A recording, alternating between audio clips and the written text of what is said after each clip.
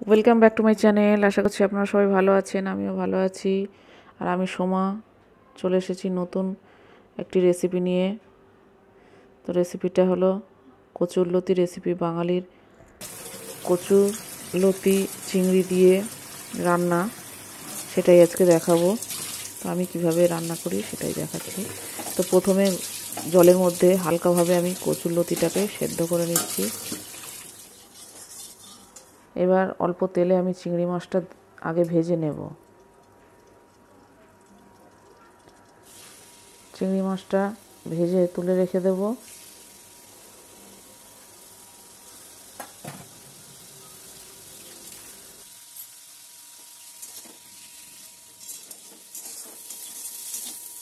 তো চিংড়ি মাছটা আমার ভাজা হয়ে গেছে। চিংড়ি মাছটা আমি আলাদা তুলে রেখে দেবো।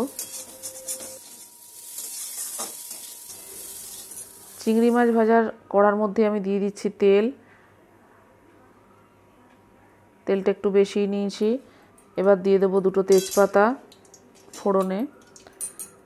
একটু ভাজা হয়ে গেলে এবার দিয়ে দেব পেঁয়াজ কুচি। আমি এখানে দুটো পেঁয়াজ কুচিয়ে নিয়েছি। মাঝারি সাইজের সাইজের পেঁয়াজ নিয়েছি। আর তার মধ্যে দিয়ে দিলাম পাঁচটা কাঁচা লঙ্কা চিড়ে। এবার লঙ্কার পেঁয়াজটা আমি ভালো করে ভেজে নেব।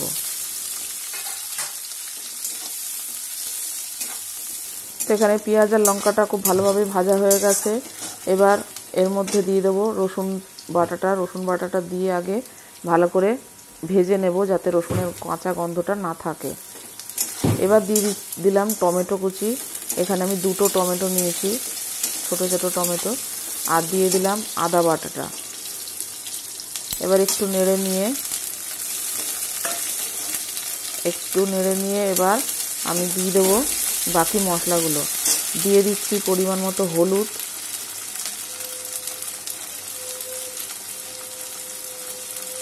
দিয়ে দেব স্বাদ মতো লবণ। আপনারা আপনাদের স্বাদ অনুযায়ী লবণটা দেবেন। এবার দিয়ে দিচ্ছি একটু শুকনো লঙ্কার গুঁড়ো অল্প কালার হওয়ার জন্য। এবার সমস্ত উপকরণগুলো আমি ভালো করে কষিয়ে নেব তেলের মধ্যে। তো মশলাটা আমার ভালো করে কষানো হয়ে গেছে, তেল ছেড়ে গেছে। এর মধ্যে দিয়ে দিচ্ছি সেদ্ধ করা লতিটা। সেদ্ধ করে আমি লতিটাকে ঝুড়িতে জল ঝাড়াতে দিয়েছিলাম। এবার এটাকে ভালো করে মশলার সাথে আমি ঢাকা দিয়ে, আঁচ মিডিয়ামে দিয়ে ভালো করে কষাতে থাকব। তো এটার মধ্যে আর কোনো জল দেব না। শুধুমাত্র ঢাকা দিয়ে কষিয়ে এটাকে রান্না হবে। আর দিয়ে দিলাম চিংড়ি মাছ ভাজাগুলো। তো এইভাবেই লতিটা আস্তে আস্তে রান্না করব। তো আবার একটু ঢাকাটা খুলে নেড়ে দিচ্ছি, দিয়ে আবার ঢাকা দেব। তো বন্ধুরা, লতিটা আমার হয়ে এসছে। আর একটু নেড়ে ঢাকা দিয়ে তারপরে আমি লতিটাকে ঢাকা চাপা দিয়ে রেখে দেবো। তৈরি হয়ে যাবে আমার কচুরলতি চিংড়ির রেসিপিটা।